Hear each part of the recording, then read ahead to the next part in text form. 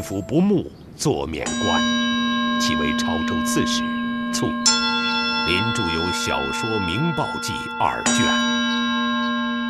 听说佛在经上讲因果报应之事，善有善报，恶有恶报，是不是迷信，还是真有这个事情？经典所说的都是事实真相。我且就我家乡冀州隔壁县一村里，亲自见闻的一桩因果报应的事情给你说明。话说隋朝开皇初年，小五，吃饭了。哎，爹，我来了。啊？哦。小五，吃吧。哎，小五，怎么了？快吃啊！爹，今天怎么没有鸡蛋？啊，哦，咱们家的母鸡今早不见了。是被人偷了吗？看样子不像是被偷的，它自己走失的吧？那我以后都没有鸡蛋吃了。小五，等今年庄稼丰收了，咱家有了钱，爹一定再买一只母鸡下蛋给你吃。不，我现在就要吃。小五，听话。我以前每天都有鸡蛋吃，现在没有了，我不干，我不干。爹也想你每天都有鸡蛋吃，可现在这种情况，爹真的没有办法。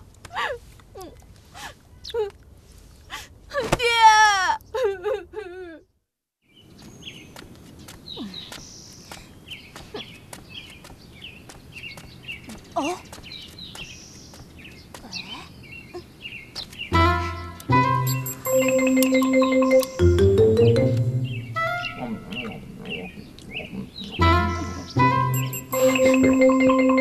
小五是你呀？有什么事儿吗？又下蛋了，真是不错。小五，你家的鸡，嗯，这孩子。走得真快！凭什么你家的鸡天天下蛋，我却没有蛋吃？嗯？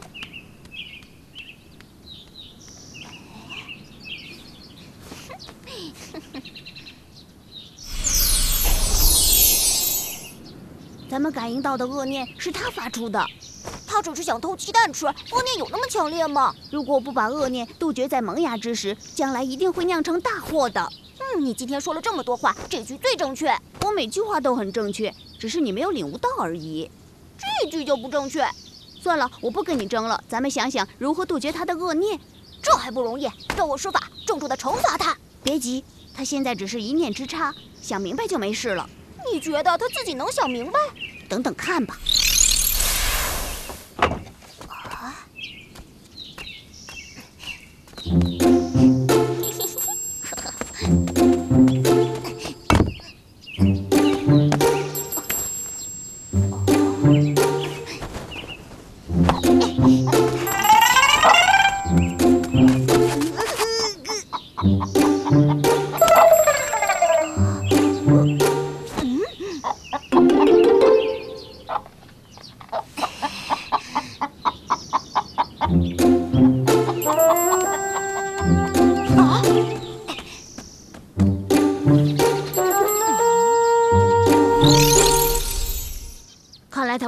恶念，还要把恶念付诸行动，让我来惩罚他。先让我来。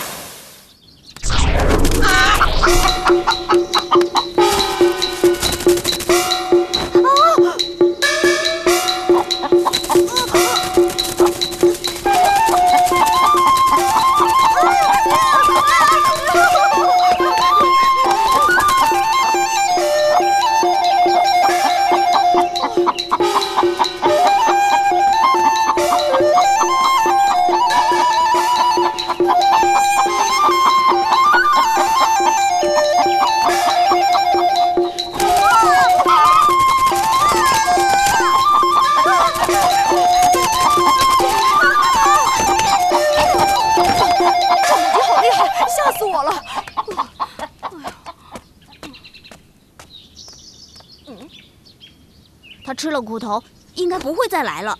你还真有办法。东方有人做善事，我们去奖赏。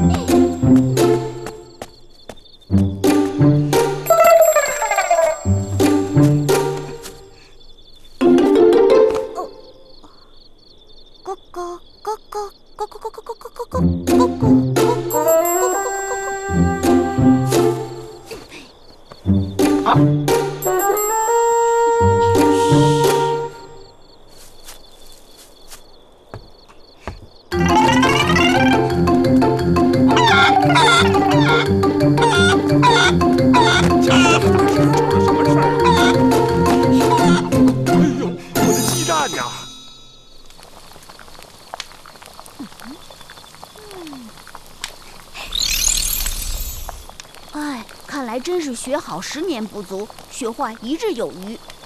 这回惩罚他，你该不会阻拦了吧？再给他一次机会吧。嗯。小五，你在干什么呢？啊，爹，你还没睡？这句话我正想问你，这么晚了怎么还不睡？哎，这鸡蛋是从哪儿来的？这这，是你偷的？啊，不，不是。那是哪儿来的？是，是我捡的。捡的？嗯。捡的你就自己煮着吃。我。不是自己的东西，不能占为己有，你忘记了吗？对不起，爹。过儿能改，善莫大焉。这鸡蛋你是从哪里得来的，就送回哪里去。哦，是的，爹。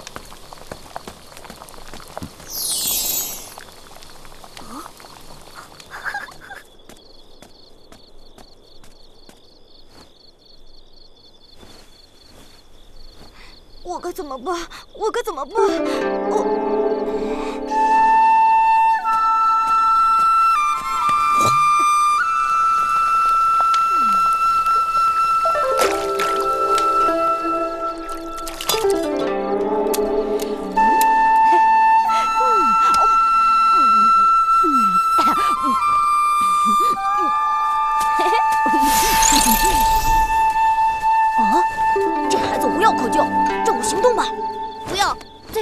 机会，还给他机会。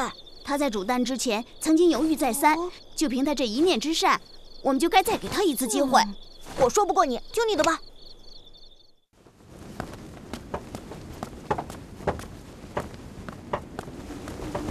嗯？哎，这这是什么地方？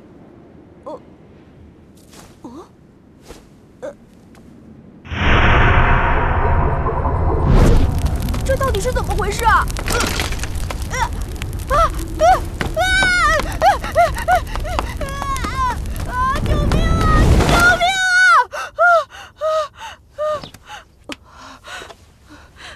难道难道真的有报应？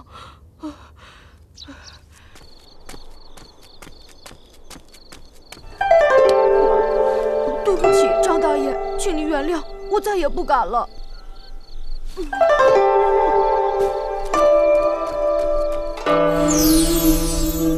嘿，你这办法还真管用。这回他前程悔过，想他以后不会再犯了。咱们也算大功告成了。明天清明节会有很多赏善惩恶的事情等着我们去做，不能懈怠哦。哦，这么赶，能不能歇一歇呀？当然不能了。别走那么快，等等我。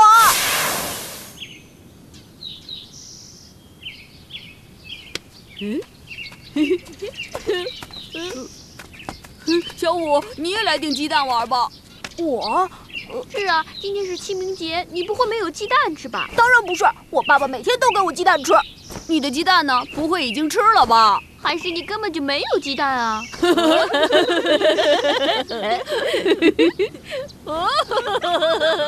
我有鸡蛋，你们等着，我这就拿来跟你们顶。他是不是生气了？我刚才只是跟他开玩笑。别管他，咱们接着玩。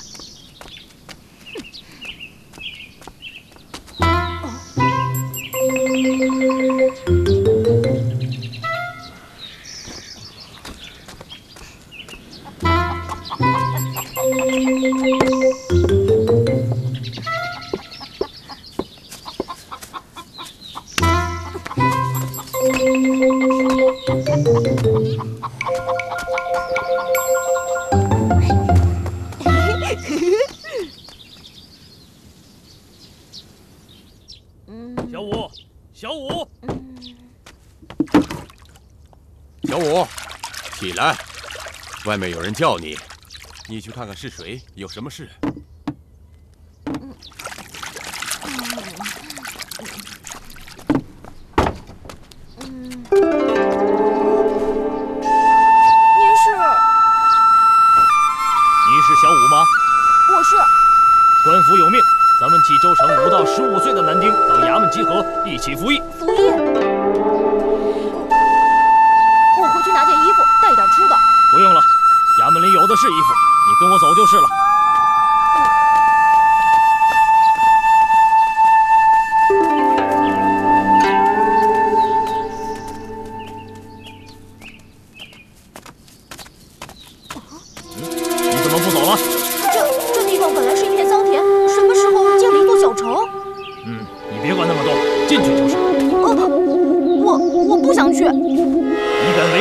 的指令吗？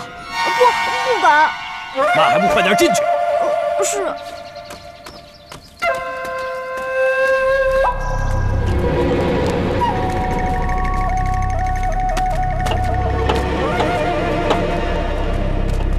蔡大哥，这城里怎么一个人都没有呢？问那么多干嘛？跟我走就是了。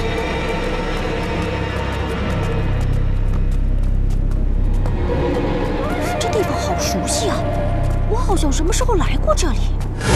救命啊！救命！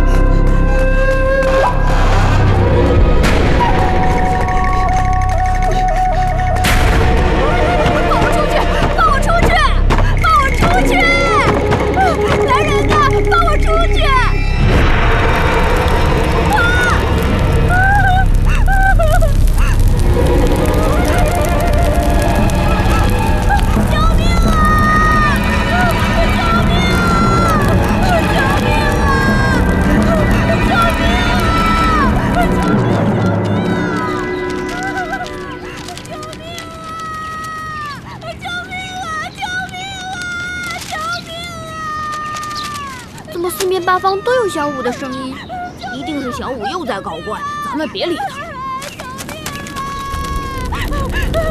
救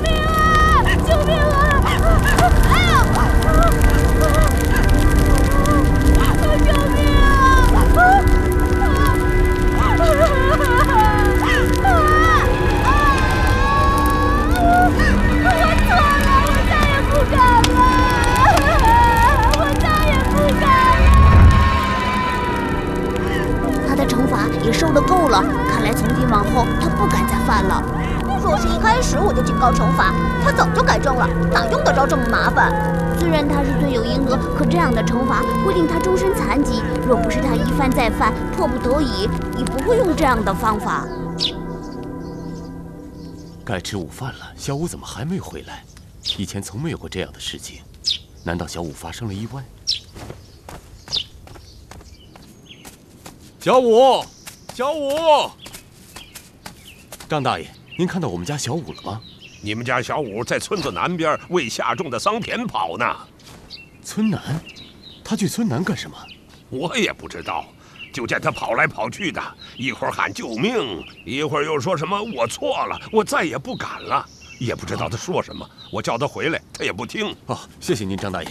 哎，救命啊！救命啊！救我，你在干什么呢？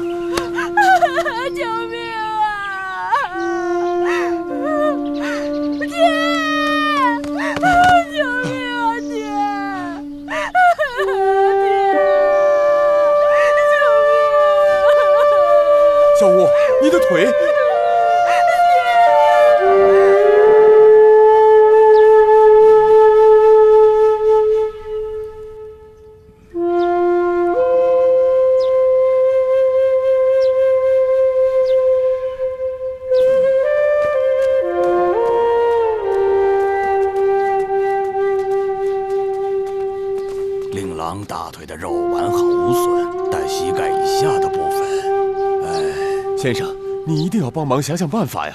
令郎膝盖以下烧的只剩两根枯骨，就算扁鹊华佗在世，也无能为力了。我家的鸡这几天都没有下蛋，我已经好多天没吃到鸡蛋了。听说张大爷家的母鸡一天能下三次蛋，真的吗？那我去他家偷几个鸡蛋回来。不要了，这样做不好。怕什么？不让人抓到不就行了吗？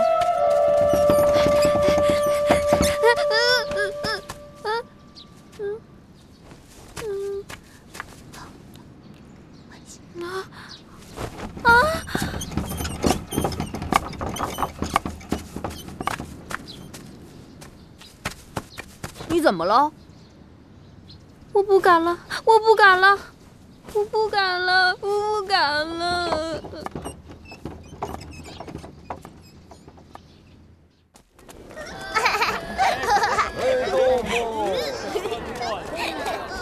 快点，快点儿！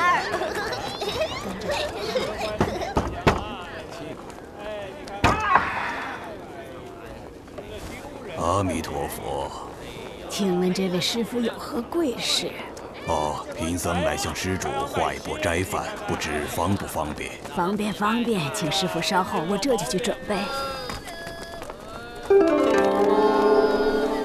们乡村也没有什么好饭菜供养，还请师傅多多包涵。善哉善哉，感谢施主供养。施主诚心诚意就是最好的供养。请问施主贵姓？必姓王，大家都叫我王婆婆。哦，施主好，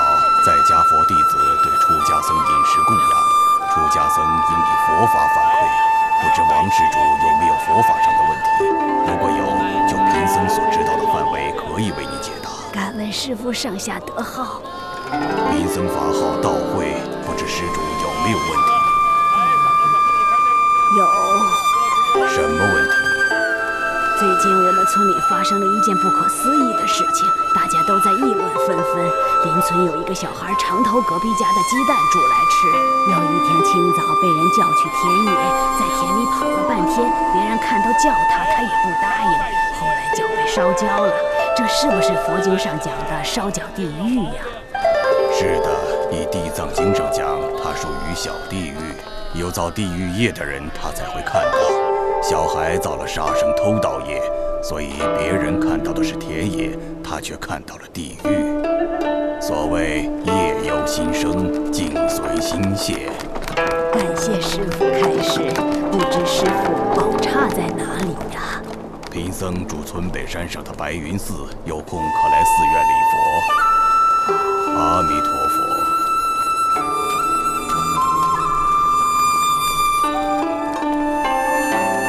渐渐的，村民们都知道了发生在小五身上的经历，他们都去看小五跑过的地方，除了发现清清楚楚的脚印之外，没有一丝炭火的痕迹。从此以后，村里的男女老幼都开始持戒、修行、种善因、得善果。